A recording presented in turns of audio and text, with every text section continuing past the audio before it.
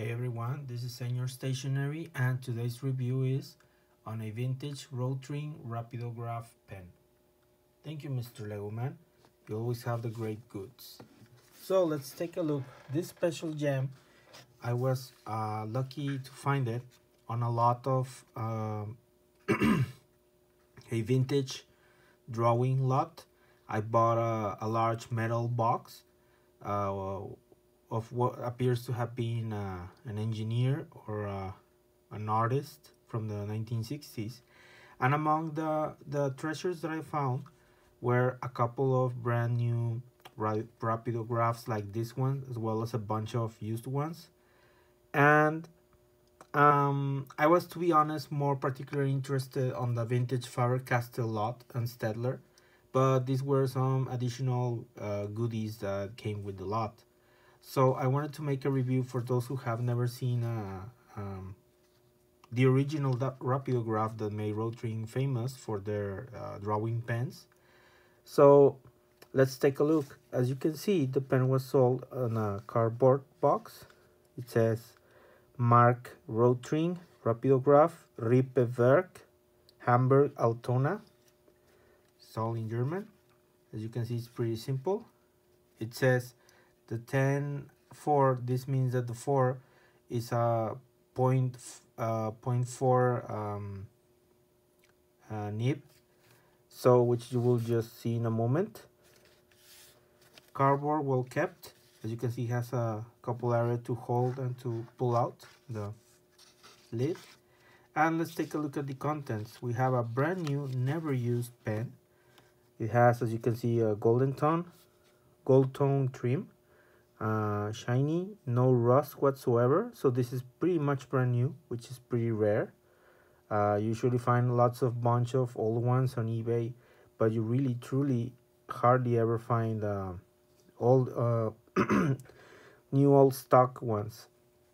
As you can see, glossy plastic or resin probably. Uh, we have over here the point 0 0.4. On the bottom, it's also round so it's just 0.4 over here on the cap as you can see with light. Here it says made in Germany. Then we have over here on the barrel we also have 0.4 all around it as you can appreciate. And over here on the bottom we have the famous red ring. It says again 0.4 and rapidograph so let's take a look.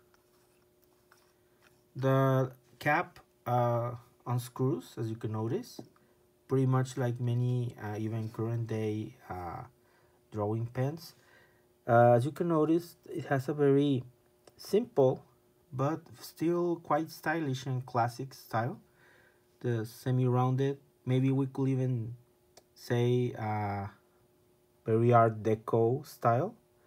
This is a 19 uh, I believe 1950s era pen maybe a little bit uh, later between 50s and 60s I believe. Again we have here around the tip again printed at 0.4 so there's no confusion. And we have the metal tip. And how does this pen gets filled you might ask? Well uh, compared to the newer ones where you uh, unscrew the, the tip or you can even interchange the nibs and these ones were more based similar to uh, fountain pens. So over here on the back we unscrew this part and voila we have the piston. Over here so we we basically uh, we um, uh, we uh, put the tip on the ink bottle or maybe on a recipient with some ink. And then we twist here on, on the cap so it sucks some ink. You must be aware that whenever you use these pens, uh, you have to even be way more careful as they might get easily get clogged as the China ink tends to dry faster and clog the tips. Or else you'll need to get some uh, nib cleaning liquid, which is not that easily uh, found in some places. Well, at least here locally, here it's not I've never I never seen the liquid. I know it exists, but uh, I think I'll probably maybe need to use some alcohol or, or some other or just plain uh, warm water to unclog the nib. Again, this is a brand new one. I have a I also have a used several used ones and I was trying to get one to work but they seem to probably maybe quite clogged so I can unfortunately make a, a test for this occasion. I will work on cleaning uh, my other used ones so you can see the difference. Uh, but I basically wanted to make this review so you can appreciate this style and the uh, particular design cues for this pen. And again here we screw it back. You can also pretty much post it here on the back and gets firmly. And even if you post the cap as you can notice we can still see uh, the point size as well as over here on the on the tip. So there's no problem in getting confused what type of point we have while drawing or making any uh, sketches with it. Pretty lovely uh, an amazing find considering its age. And if we can go back to our box and put aside our pen we'll have our instruction sheet and something also quite interesting we also have a blotting paper to clean our nib. It says, and this is in English as you can notice, we have over here uh, the drawing printed with our nib. After filling your pen, please wipe in the space between nib and barrel with blotting paper enclosed. So this paper is used for this. Basically, if we unscrew this again, imagine we just fill this. So we'll use this to clean it and don't have any ink left or gets stuck. And we have fairly clean when when done. So as you can notice this is a pretty rarity. Um, I didn't even know they even included this blotting paper with these pens but it's a, a lovely find. Again it's fully complete. And then we have our instruction sheet which let's take a look. It's also in English and it says instructions for the use of the rapidograph with red ring as in rotring a drawing instrument for marking and drawing with Indian ink. Reference. Uh, so we have, oh, over here, as you can notice, we have the new markings, which is our current ones actually from uh, Rotring. And these were the previous reference numbers. So this is pretty much historic. We have uh, 0 0.2, 0 0.3, 0 0.4, 0 0.5, 0 0.6, 0 0.8, and 1.2. Uh, here we have the previous numbers, which was double zero, zero, one, two, dash, or there wasn't available, and then three, and then again blank. The Rapidograph is a valuable precision instrument and will render excellent service providing the directions for its use are observed. When used for ruling, ink will not flow underneath the ruler.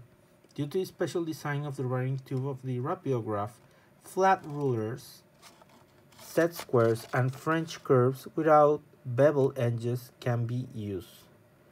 Of important are the Indian ink, the filling, care, and proper handling. So,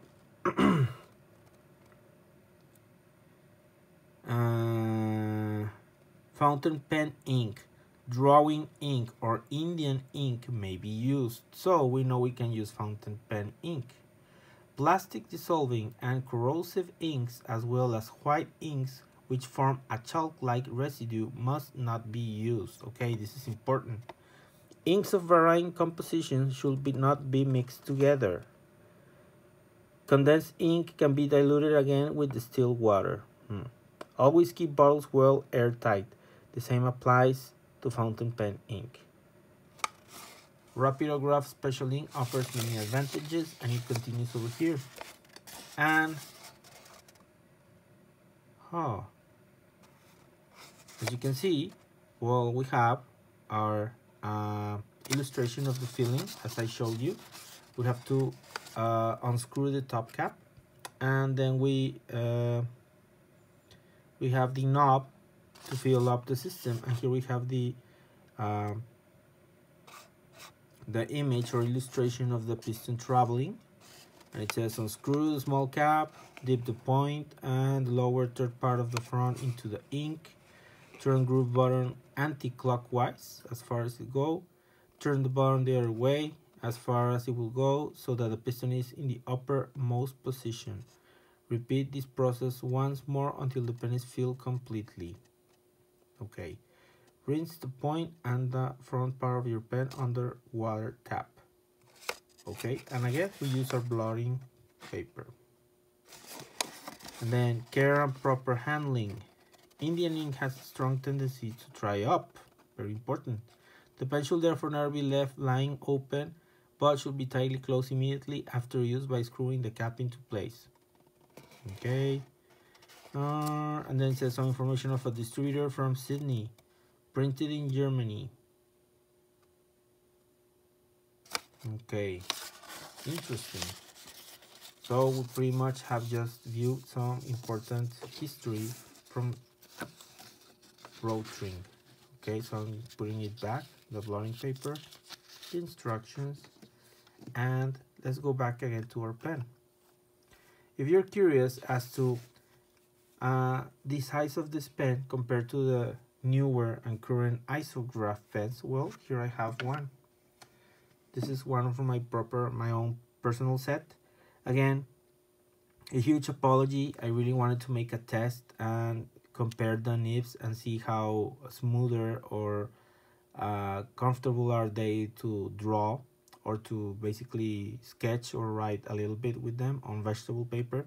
I do have the vegetable paper, but again, this one I did left some uh, India black ink and it dried up, so I kind of messed it up. Sorry about that. So I need to first get it uh, to flow again and clean well its um, its deposit. So allow you for another review the comparison but we might get a look. We have well this current isograph. It's uh, well burgundy we have it says road Rotring isograph printed we have the red ring here at the bottom which is very uh, iconic if we compare to this older one and this one, well, this is something to consider. Then we have road Rotring Germany printed on the metal clip, which is quite sturdy. Then over here on top, we also have our uh, point, point 050, as well as over here on our nib, on our interchangeable nib. So what's the difference? If we unscrew, which again, as you can notice, we unscrew the cap, this looks with a more complex nib, as you can see. The design part of it it's more complex. We also unscrew it from the main barrel and as you can see we have our ink deposit which we can open and wash and well our nib which can be interchangeable for other ones or if you need to replace it for any damaging or bending uh, you can get a new one so how does this compare to the older one well for starters here in the older one as you can see has a larger cap more like a can be easily confused with a uh, a fountain pen from its era. And this is something interesting that these newer ones, uh, in the isograph, they made it smaller to notice that uh, drawing pens have a more smaller cap. So this is a good uh, difference to, ma to make a notice. If we take a quick look, as you can see, um, actually the tube looks almost if not slightly larger on here on the earlier one. And on the newer one it's a little bit more smaller. But as you can see the whole nib is quite more complex. It's also screwable as you can see here by the threads. And this one the older one has way more threads but over here on the midsection. And it's also uh, pretty has a nice uh, gripping non-slippery uh, plastic. And lengthwise uh, it's actually pretty much the same as you can see. The ring is more pushed on the back on the newer one as well as well we have the burgundy typical Rotring color. And on this one on the rapidograph well as you can see it's fairly the same length pretty much but again with the caps well it's different. In both we can post the caps although not that easily here on the on the isograph but still you can post it. Not the best place to have them or they're not quite designed to do this but you still may. And on this one yes you can pretty much post it here on the back which unfortunately covers the red ring. So let's see lengthwise how does this look? Well by posting the cap actually the older one tends to be larger.